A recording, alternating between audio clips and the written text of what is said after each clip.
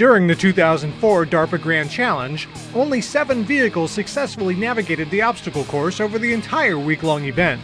But this year, the first round of the trials demonstrated remarkable progress as 11 vehicles completed the course, and none better than Stanley, Stanford Racing Team's robotic Volkswagen Touareg.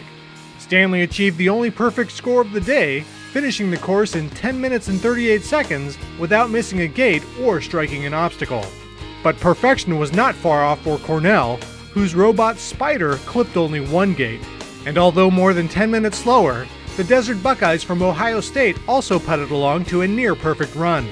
Other top performers in round one include Princeton University's Prospect 11, Xbox from Colorado's Team Mojavaton, and Navigator from Florida's Team CIMAR. Both of Carnegie Mellon's Red Team robots, Highlander and Sandstorm, easily completed the 2.2 mile course, as did Desert Tortoise from Intelligent Vehicle Safety Technologies out of Littleton, Colorado.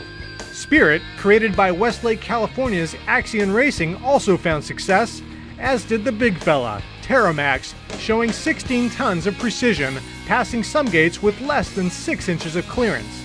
For one reason or another, however, the rest of the field failed to complete the course. For many bots, obstacle number one was a major hurdle.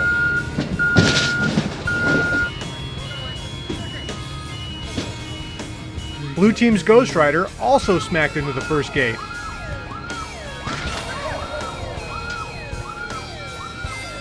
Wait, wait, wait. But amazingly, it gets up and continues the course. How's that, ladies and gentlemen? And give this motorcycle a round of applause. Ghost Rider falls victim to the narrowing hay bales, but it's not alone. The hay wreaked havoc on many robots, some handling it better than others.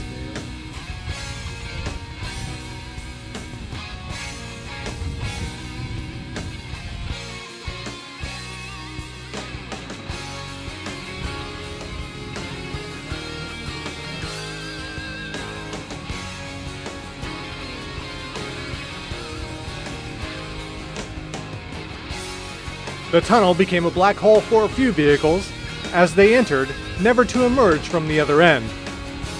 There are worse fates than entering a black hole, and sadly, a few of these robots discovered what those were.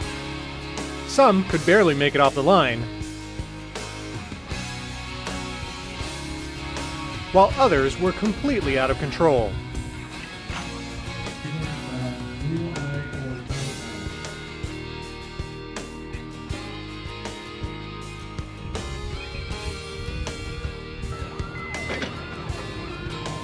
Despite the miscues, the first round results are very promising. Vehicles in the Grand Challenge qualifying event can run as many as six times, so for those who failed on their first attempt, the game's not over yet. 20 vehicles will move on to the $2 million Grand Challenge Finals in Primm, Nevada, where they will attempt to complete a 150 mile desert course in less than 10 hours. It's never been done before, but with this strong field and a little bit of luck, we may see a champion robot cross the finish line under the hot Nevada sun.